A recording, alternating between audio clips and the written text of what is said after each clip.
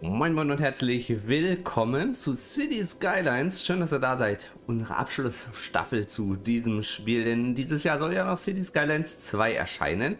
Und beim letzten Mal, ihr habt es vielleicht mitbekommen, da haben wir unser erstes mega großes Infrastrukturprojekt gestartet. Irgendwie kommt das Wasser gerade zurück. Und zwar haben wir einen Staudamm gebaut, der aber noch keine Ausgangsleistung hat, denn dieser Staudamm muss auf die gesamte Höhe bis hierhin erstmal das gesamte Wasser stauen. Das dauert und dauert. Es ist schon ein kleiner Bereich geflutet, aber das wird noch mehr, wenn wir mal so gucken auf die Höhe. Also das wird hier dieses Tal wahrscheinlich komplett fluten. Ah, die Insel vielleicht nicht. Ich bin sehr gespannt, wie das mal aussehen wird, aber das dauert. Warum auch immer das Wasser zurückkommt. Sein, dass hier ein so ein Wasserpunkt. Lol. Den nehmen wir mal weg. Das wollen wir nicht. Das Wasser soll von oben kommen. Das heißt, diese Pumpe fällt dann trocken. Wir haben aber ersatzweise hier hinten schon eine gebaut gehabt. Und das scheint auch erstmal noch so zu funktionieren. Ähm, genau. Zusätzlich zu diesem Projekt des Staudamms, der irgendwann mal relativ viel Strom produzieren soll, haben wir hier übergangsweise erstmal einen Aufwind-Solarturm, beziehungsweise nicht übergangsweise, sondern der wird wahrscheinlich auf Dauer hier stehen bleiben, der einfach mal 300 Megawatt bringt. Wenn ich jetzt mal schaue, so viel sollte der gar nicht bringen, ne? 240 sind gedacht, er bringt aber direkt mal mehr, weil die Sonnenintensität hoch ist, weil ich glaube ich die Wolken ausgestellt habe. Kann das sein? Gucken wir mal. Ne, er bringt genauso viel. Naja, okay. Das, wo noch mehr äh, so Institutionen rumkommen, rund um vielleicht Energie oder sowas, weiß ich noch nicht. Schauen wir mal. Und hier gibt es den Straßenanschluss an die Autobahn, den wir ja schon länger auch geplant hatten jetzt. Dadurch, dass wir das Gebiet hier oben bekommen haben, geht es aus der Industrie genau oder ganz direkt hier zur Autobahn, raus aus der Stadt oder auch hier drauf und dann hier runter, ohne dass die alle hier noch durch die Stadt müssen. Natürlich, all der Verkehr, der von hier kommt, der wird das wahrscheinlich als Abkürzung nutzen, hier durchzufahren, anstatt außen rum auf der Autobahn. Das ist halt einfach so. Aber wir sehen ja, der Verkehr hat hier schon abgenommen. Hier ist noch relativ viel los, weil diese Agrardings natürlich über diese Fläche fährt. Aber ich finde, es ist okay für so eine große Straße. Ist der Verkehr da doch ganz gut. Jetzt schauen wir mal, dass wir hier vielleicht noch ein bisschen Industrie fertig bauen können. Ich habe es beim letzten Mal schon erwähnt. Ich hatte die ähm, Mods aktiviert. Die waren per anderer Mod deaktiviert, weswegen das nicht funktioniert hat. Jetzt haben wir sie drin. Und können das Ganze eben dann auch nutzen jetzt. Finde ich super. Und machen wir direkt. Also nein, das sind jetzt keine Mods, aber können wir halt jetzt anwenden.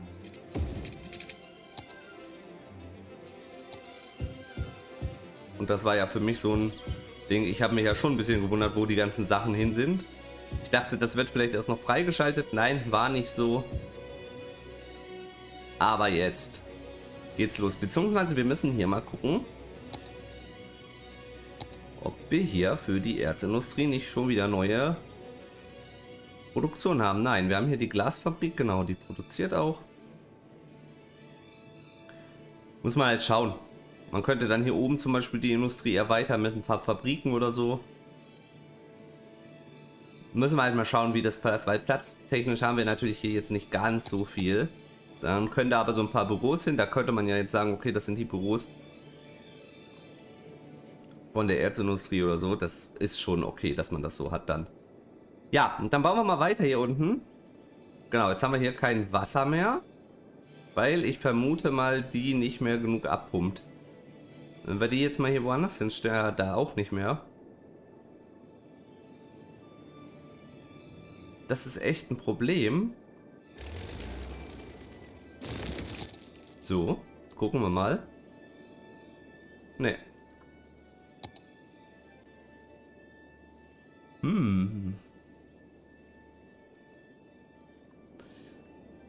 Was wir schauen können. Ist dass wir modernere Pumpstationen nutzen.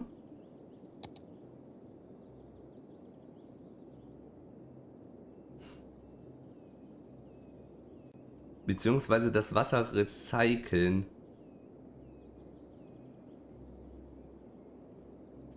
Hier zum Beispiel.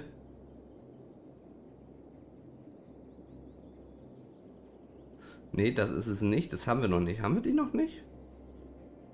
Hier? Nee. Nee, nee, nee. Ich dachte, wir haben... Die kommen noch, ne? Bodenverschmutzung. Ich war der Meinung...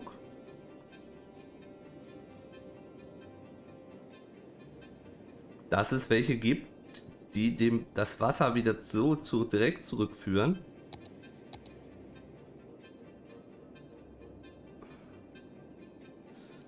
Also quasi, ähm... Ja gut, die pumpen halt einfach mehr ab, das macht ja keinen Sinn.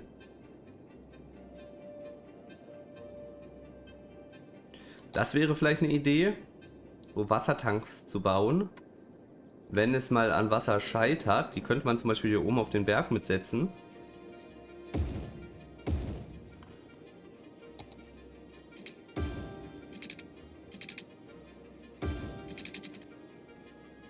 So, dann würden die gefüllt werden, wenn Wasser da ist und dann äh, könnte man das eben nutzen. Äh, ich meine jetzt so Anlagen, die das halt filtern und zurückführen. Das wäre eigentlich eine gute Sache. Die werden, theoretisch müsste das funktionieren. Weil eigentlich haben wir ja genug Wasser. Wird halt nur nicht optimalst abgepumpt. Also hier zum Beispiel die ist jetzt gerade außer Betrieb. Die schaltet halt immer hin und her. Ist hier noch irgendwie so ein Wasser? Dings, wo kommt denn das ganze Wasser her? Sonst könnten wir hier halt einfach auch noch mal äh, Wasser produzieren. Einfach das abpumpen, was hier ist. Sozusagen als Lagerung. Das ist natürlich jetzt belastend. Wir können da hinten Wasser abpumpen, aber dann füllt sich das halt auch langsamer. Ja, das war's schon. Also so die großen Möglichkeiten haben wir nicht, ne? Jetzt ziehen wir auch das Wasser aus denen schon wieder zurück. Oh nee, das geht nicht. Gut, dann müssen wir es halt so machen. Es bleibt uns nichts anderes übrig. Als Wasser hier oben abzupumpen.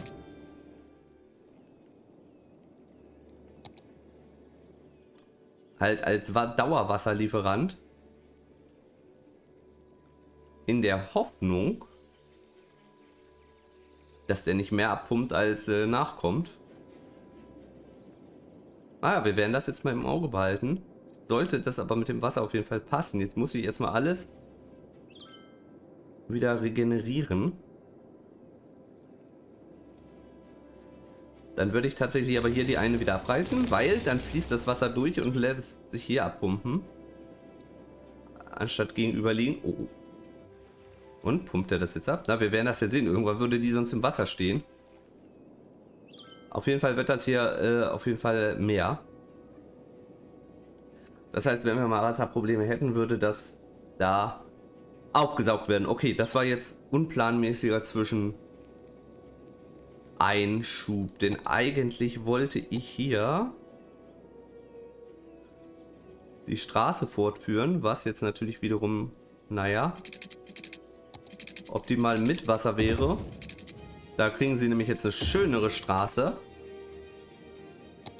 Hier draußen hoch. Da haben wir auch schon Heu. So, das ist gut.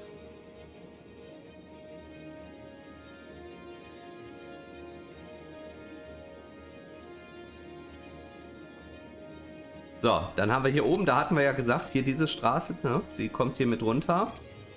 Und da würde ich zum Beispiel sagen, Also die bleibt erstmal normal, die Straße würde ich auch.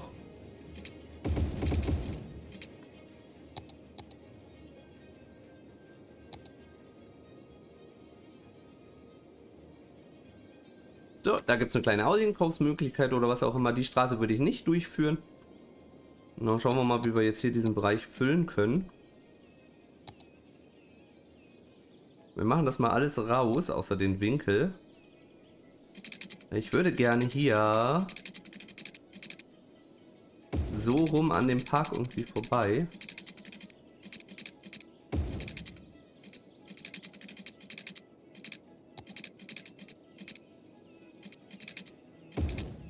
So.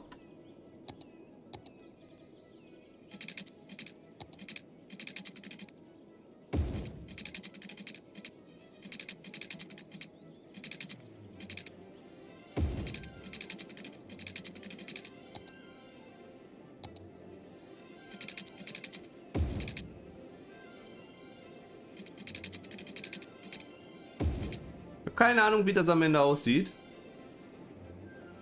Aber ich stelle es mir lustig vor. Also, nicht schlecht.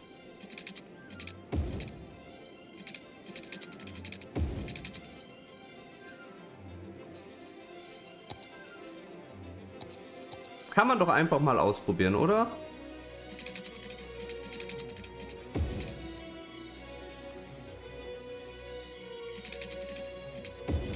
Dann bauen wir hier so Verbindungswege ein. Der Rest wird Wohngebiet.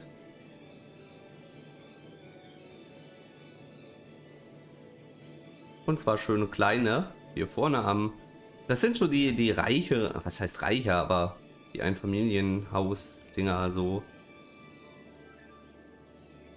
Keine Ahnung. Ihr wisst, was ich meine. Vororte. So, das heißt, das können die auch bebauen hier. Das wächst.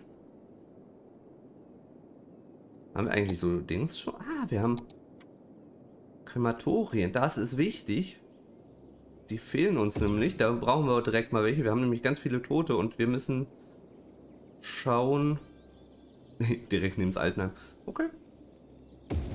Da und da. Das ist erstmal für hier. Und dann brauchen wir hier unten natürlich auch noch eins oder zwei.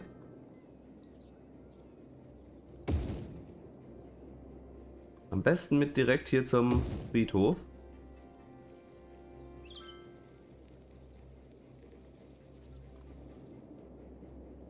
Dann wird das nämlich in den Griff bekommen. Sehr schön.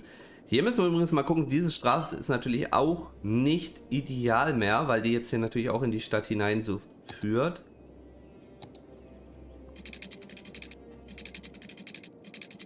Also das wäre auch eine Sache, da müsste man mal drüber nachdenken, ob man das dann so behält. Hier müssen wir übrigens die Wasserversorgung mal anpassen. So. Aber wie sieht es denn jetzt aus? Wasser haben wir ja immer noch, naja. Bin mir nicht sicher, ob das steigt. Können wir nicht irgendwie eine Markierung mal setzen? Weil wir hier nicht bauen können, eher nicht, ne?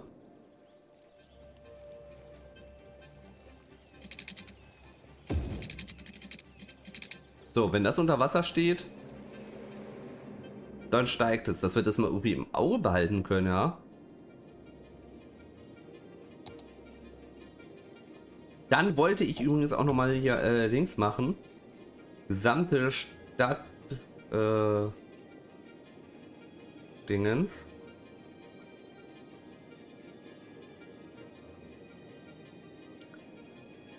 Äh, genau, den Rest würde ich dann auf einzeln. Ja, das müssen wir noch mal gucken hier mit äh, Nahverkehr und so.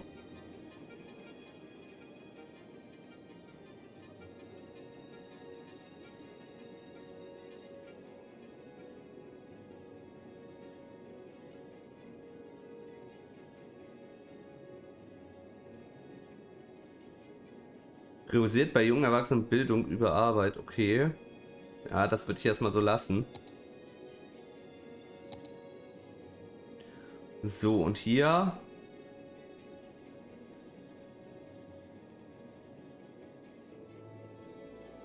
Blitzableiter in der gesamten Stadt. Weil wir haben nämlich Geld.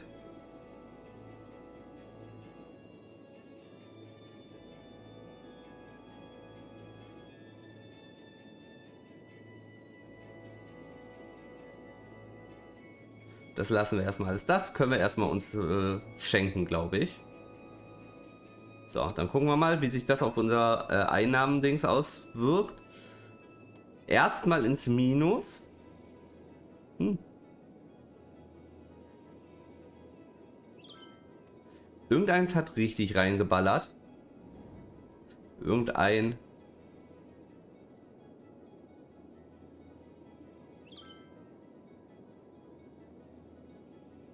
Da müssen wir mal gucken. Also irgendeiner hat jetzt richtig reingeballert, wo ich nicht aufgepasst habe.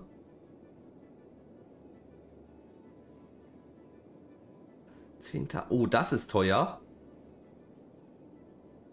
Das lassen wir mal. Das, die Steuerannahmen um 2% niedriger. Aber was haben die für Probleme jetzt hier? Boden ist verseucht. Hä? Oh nein! Nein, nein, nein, nein, nein!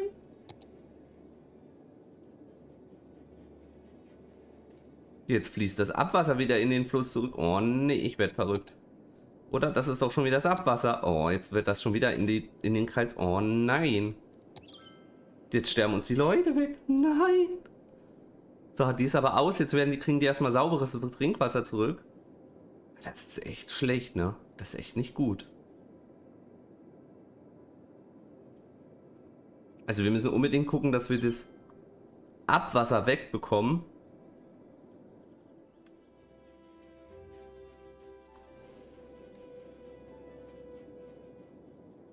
Da kommt ja so viel raus.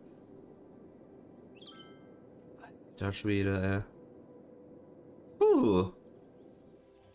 So richtig, ja doch, es steigt. Langsam, aber es steigt. Das ist doch optimal.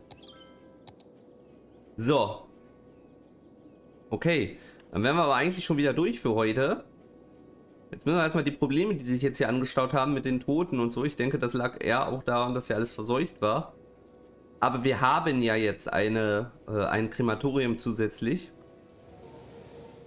Und der wird jetzt äh, sich darum kümmern, dass das eben angegangen wird, das Problem. So, bevor wir Schluss machen, nein, da gucken wir noch einmal in unser gesamtes System rein.